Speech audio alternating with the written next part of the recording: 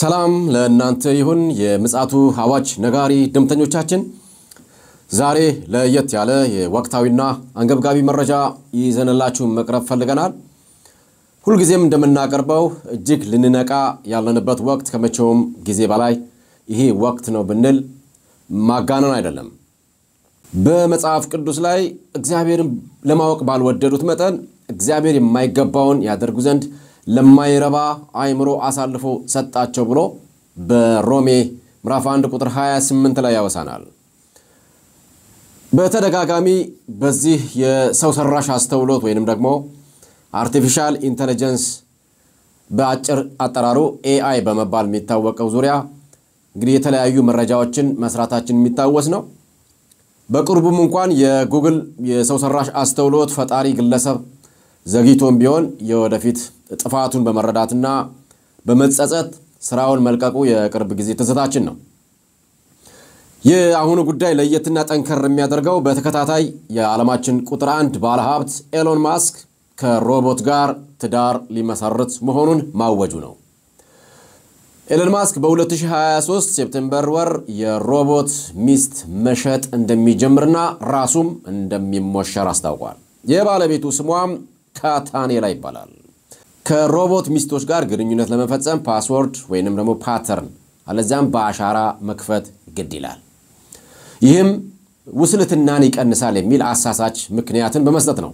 ታዲያ አንድ የሮቦት ሚስት ቻርጅ ለመደረግ ሶስት ቀን ይፈጅባታል። አስደንጋጩ ደግሞ አፍሪካ ላይ በ2023 ኖቬምበር ወር ሽያጩ ይጀመራል መባሉ ነው።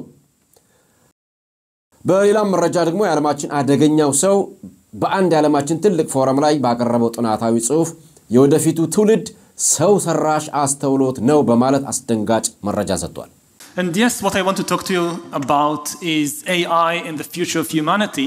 Now, I know that these conferences focus on the ecological crisis facing humanity, but for better or for worse, AI too is part of this crisis. AI can help us in many ways to overcome the ecological crisis, or it can make it far, far worse. ከዚህ በፊት ስለዚህ ግለሰብ ባቀረብነው መረጃ ይህ ሰው እንደተናገረው የሰው ልጅ ለዘላለም መኖር ይችላልና መጽሐፍ ቅዱስ የአምስት ሺህ ዓመት ልብ ወለድ ነው በማለት ድፍረት በተሞላው ንግግሩ ይታወቃል። በተጨማሪም ይህ ግለሰብ ሰዶማዊ መሆኑም ገሃድ የወጣ ሀቅ ነው።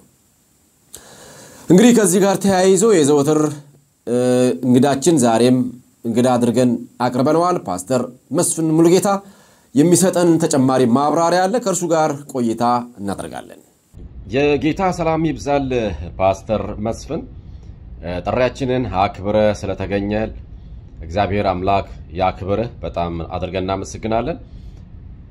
እንግዲህ ባሳለፍነው ቀናቶች በማህበራዊ ሚዲያው በጣም እንግዲህ ትኩረት ሳቢ ሆኖ የቆየ መረጃን ነው ዛሬም እንግዲህ ከአንተ ጋር ልናነሳ የወደድነው ጉዳይ ከዚህ በፊትም ሆነ ሰሞኑን የዚህ ሰው ሰራሽ አስተውሎት ወይንም ደግሞ የ artificial intelligence በተባለው ዙሪያ ከፍተኛ መነጋገሪያ ሆነዋል እና እስኪ ይህንን አስመልክቶ የምትለን ነገር የምፅዓቱ አዋጅ ነጋሪ የቴሌቪዥን አገልግሎት እንደገና በሌላ ርዕስና ወሳኝ አጀንዳ ደግሞ እንድንገናኝና እንድንነጋገር እድል ስለሰጣችሁኝ እግዚአብሔርን እጅግ አድርጌ አመሰግናለሁ። በአሜሪካ በሜሪላንድ የምትገኘው የዚህ አገልግሎት አቅራቢ የሆንከውን ወንድሜን ብስራትን በአዲስ አበባ ያለኸውን አጋሩን ደግሞ ወንድሜ ይልቃልን እግዚአብሔር አምላክ ይባርካችሁ ማለት እፈልጋለሁ። ሌሎችንም እንደዚሁ የራያቸውን አጋሮች የሆናችሁትን የጂኤምኤም ቴሌቪዥን በአሜሪካና በሌላው ዓለም በኢትዮጵያም ጭምር ያላችሁ አጋሮቻቸውን የምጸልዩላቸውን ሁሉ እግዚአብሔር አምላክ ይባርካችሁ እያልኩ ወደ ቀረበልኝ የመጀመሪያ ጥያቄ እሄዳለሁ። እንግዲህ በ artificial intelligence ላይ ይሄ ሰው ሰራሽ አስተውሎት ወይም ሰው ሰራሽ ክህሎት በእንግሊዝኛው artificial intelligence ስለሚባለው ጉዳይ ምን ትላለህ የሚል ሀሳብ ነው የቀረበልኝ። በመጀመሪያ መናገር የምፈልገው ሰው ሰራሽ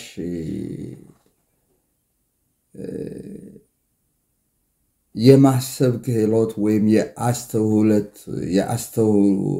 የአስተውሎት ኳሊቲ የአስተውሎት ጥራት ወይም ብቃት ለሱ ምናልባት በእንግሊዝኛ የተሰጠውን ሀሳብ ወይም ትርጓሜ ልቀበለው አልችልም። የማልቀበልበት ምክንያት እግዚአብሔር የሰራውን የአስተውሎት ክህሎት የማሰብና የመመራመር ብቃት ከዚህኛው ጋር ሳመዛዝነው አይመጥንም። እግዚአብሔር የሰጠው intelligence and cognitive quality cognitive quality እና intellectual power intellectual department እሱን በማስብበት ሰዓት ከዚህ ጋር የሚመዛዘን ሆኖ አላገኘሁት። ምክንያቱም ሰው የተሰጠው ማሰብ መስራት ብቻ ሳይሆን እግዚአብሔርንም የሚያመልክ ነው። በተለይ መልክና ምሳሌ የምንውለውንም አንዱን ጉዳይ ከምናገኝበት የሰውነታችን ፋካሊቲ ውስጥ nervous system አንዱ በመሆኑ intellect አንዱ በመሆኑ የ intellect አንዱ ዓላማ የ intelligence አንዱ ዓላማ በእግዚአብሔርን ለማወቅ እግዚአብሔርን ለማግኘት እግዚአብሔርን ለማየት እግዚአብሔርን ለማሽተት እግዚአብሔርን ለመስማት ለማምለክ ለማገልገል የሚሆን intelligence ነው ያለው። ስለዚህ ይሄኛውን artificial intelligence የምንለውን ጉዳይ intelligence ብሎ መውሰድ መጽሐፍ ቅዱስ ይመጥናል ብዬ ይቀበለዋል ወይም እንደው እንደ መጽሐፍ ቅዱስ አዋቂ እንደ መጽሐፍ ቅዱስ አስተማሪ ይህንን ጉዳይ አልቀበልም። በተረፈ ምን ትላለህ ለሚባለው ጉዳይ እንግዲህ አሁን ያለው ሁኔታ በተለይም ከቴስላም company አንጻር ይሄ artificial intelligence ን በጣም አመጥቀዋለሁ እያለ ከሚናገረው ከዛ company ባለቤት አንጻርም እና ሌሎችም እሱ ምናልባት የቴስላ መኪና company ባለቤት ያው የብዙ ነገሮች ፈጣሪ ነው። አምስት ስድስት company ዎችን የሚመራ በነዛ ጉዳይ ደግሞ ግኝቶችንና ቀመሮችንም ደግሞ በቀዳሚነት የፈበረከና የፈለሰፈ መሆኑ ይታወቃል። ከእነሱ አንጻር ነገ ሁሉም ነገር በኮምፒውተርና በሮቦት የሚተካ መሆኑን ስናይ የሚያሳስቡ ጉዳዮች አሉ እና ዓለማችን ወደዛ ጉዳይ እየሄደች ነው። አሪዞና እንግዲህ አሁን በእነዚህ ባለፉት ሁለት ሳምንታት ዋሽንግተን ዲሲ፣ ሜሪላንድ እና ቨርጂኒያ አካባቢ ነው ያለሁት። ከሶስት ሳምንት በፊት አሪዞና ነበርኩኝ እና አሪዞና driverless car አለ፣ ሾፌር አልባ መኪና ያው ride ትሰጣለች። ፓስተር ኪሩቤል የሚባል ሰው ጋር ሁኜ ለመ encounter ና እሷን ሳላይ እንዴት እንደምትሰራ ሳላይ በእሷ ride ሳልጠቀም አልሄድም ብዬ ስንጠይቅ ነው system ኡ በ online ስለሆነ የሚታዘዘው ብሩ ሂዶበታል። ምናልባት አምስት ብር አምስት ዶላር ከምናምን ሄዷል። ከአውሮፕላን ማረፊያው የፌኒክስ downtown ለመሄድ ሞልተን እኔ ተሳፍሬባት ሊሄድ ከዛ ፓስተር ኪሩቤል ከ downtown እንደገና ወደ airport ሊያመጣኝ airport ሂደን ነው ያዘዝነው። ወደዚህ ከአሪዞና ወደ ሲያትል ነበር የሄድኩት እና ያንንም ነገር የማየት ፍላጎት ነበረኝ። ስለዚህ መኪኖች ሁሉ driverless ሆነዋል። ሾፌር አልባ መኪኖች መጥተዋል። ከዛ በኋላ ብዙ ነገሮች ነው የመጡት። ታንክን የሚያሽከረክሩት ታንከኛ የሚሆኑት ተዋጊ ጄት የሚሆኑት ያው ሮቦት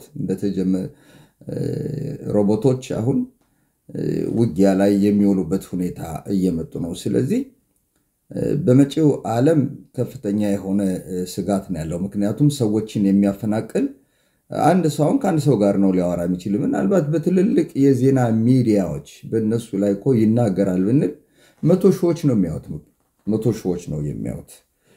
ይሄ ግን in millions ten millions twenty millions የሆኑ ሰዎችን በአንድ ጊዜ interact ማድረግ የሚችል መሳሪያ ስለሚሆን መጪው ዓለም በሱ የሚመራ በሱ የሚታገዝ ምናልባትም ከዚህ በፊት ሰዎች አንዳንድ ነገሮችን ሰርተው እንደ አሻንጉሊት ይጠቀሙባቸዋል። ወደፊት ግን ሰው የሰራው artificial intelligence የሚባለው ጉዳይ ሰውን እንደ አሻንጉሊት የሚያይበት ስለዚህ we are shifting from humanization to dehumanization ከሰውነት ወደ ኢሰውነት ወይም ወደ አነሰ ሰውነት የምንሄድበትን ሁኔታ ነው የሚያሳየን ብዬ ነው የምገምተው። ስለዚህ እንደዚህ ነው ነገሮችን የማያቸው። እሺ ፓስተር፣ መጪውስ የዓለማችን ሁኔታ ምን ሊመስል ይችላል? እንግዲህ የዚህ የሐሰተኛው ክርስቶስ ለመገለጥ የቀረበውም ጊዜ እንግዲህ የምናውቀው ነው። ብዙ ምልክቶችም እየታዩ ነው። ከዚህ ከመጽሐፍ ቅዱስ እይታ አንጻርና ከትንቢቱም መልእክት አኳያ እንግዲህ ምን መልእክት ይኖርሃል? በዚህ ጉዳይ ላይ ምን ትለናለህ? እግዚአብሔር ባርክህ ወንድሜ ብስራት። ሁለተኛው ጥያቄ በእርግጥ እንደ ባለ ራዕይ ልናነሳው የሚገባ ትኩረት ልንሰጠው የሚገባ ነው። ወገኖቼ እንደሰማችሁት መጻኢው ዓለም ከዚህ አንጻር ምን ሊመስል ይችላል?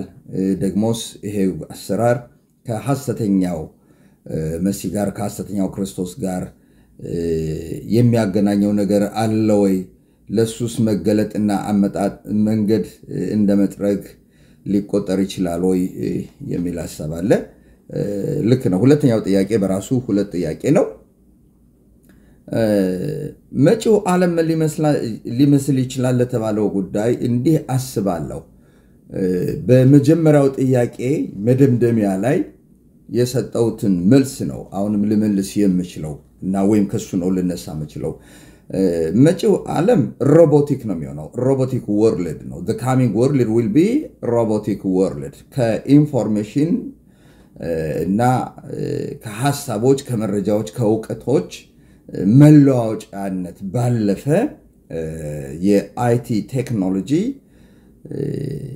ሁሉ ነገር በሱ ወደሚሰራበት ነው የሚሆነው እና ምናልባት አሁን በጦርነት ላይ በሀገር አቀፍ ይሁን በዚህ በ civil war ይሁን አገራት በሀገራት መካከል በሚያደርጉት ውጊያ ምናልባትም እንደ አንደኛው ዓለም ጦርነትና እንደ ሁለተኛው ዓለም ጦርነት ሀገራት በጎራ ተከፋፍለው የሚዋጉበት ውጊያ ቢኖር በዛ ወደ ውጊያው ሰዎች ቢማረኩ ርኅራኄ አያውቅም ርኅራኄ አያውቅም። humanity የሚባል ነገር ስለሌለው መሳሪያው እና አጠቃላይ ecosystem ኡን በቲማቲም ጉዳይ እሱ ነው።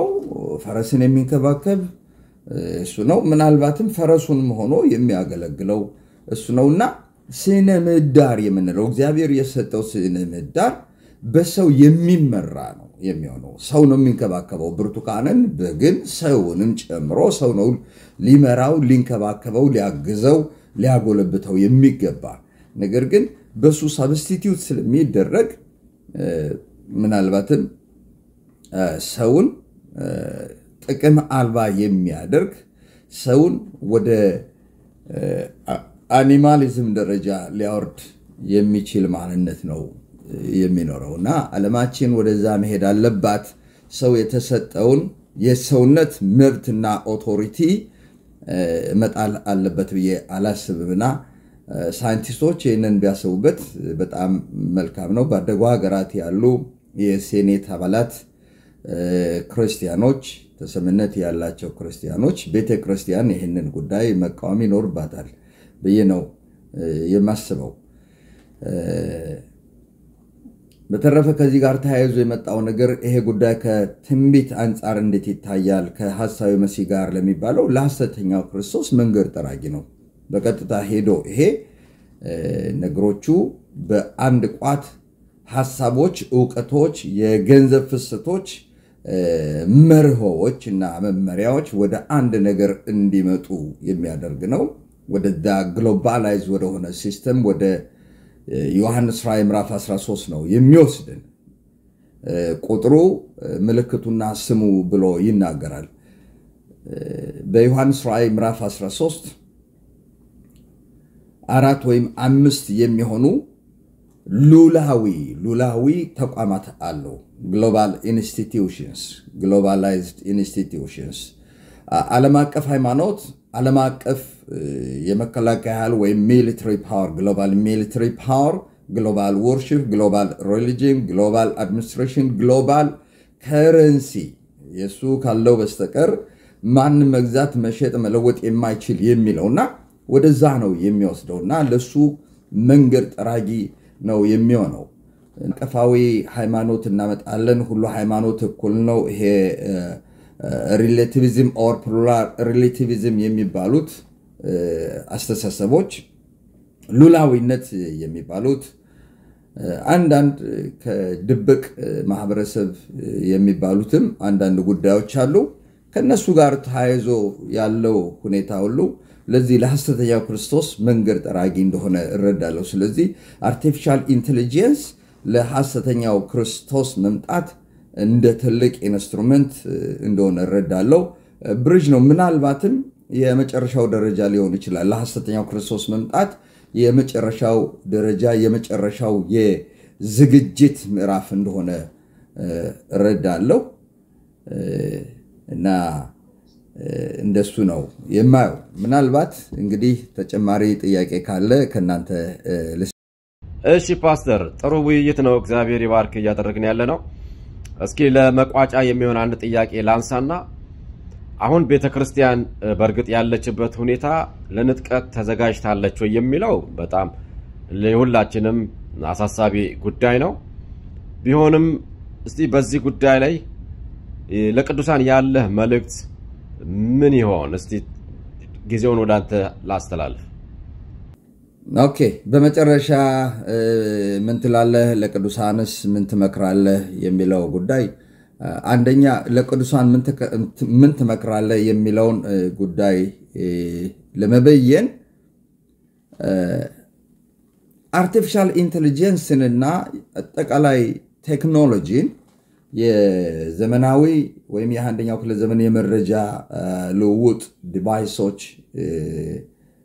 ቀመሮች፣ system ኦች በሚመለከት አማኝ ምን አይነት አመለካከት ሊኖረው ይገባል ከተባለ አማኝ neutral ነው የሚሆነው።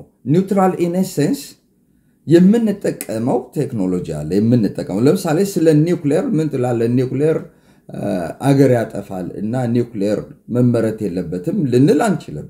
ምክንያቱም መብራት የሚመጣው የምንጠቀምበት መብራትና አንዳንድ artificial energies powers የሚመጡት ለፋብሪካ የተለያዩ ተቋማትን ለማንቀሳቀስ ከኒውክሌር ነው የሚመጡት። ስለዚህ ኒውክሌርን መቶ በመቶ አንቃወምም። ኒውክሌር ማብለያ አያስፈልግም ልንል አንችልም። neutral እንድንሆን የሚያደርገን አንድ ወገን ብቻ ስለማናይ ነው። አንድ ወገን ብቻ ስለማናይ ነው። መርጦ መጠቀምና ይበጃል የሚባለውን ነው የሰው ልጅ መውሰድ ያለበት። ሁሉ ተፈቅዷል፣ ሁሉ ግን አይጠቅምም። ሌላው ነገር በትክክለኛውና ትክክል ባልሆነው መካከል መለየት ያስፈልጋል።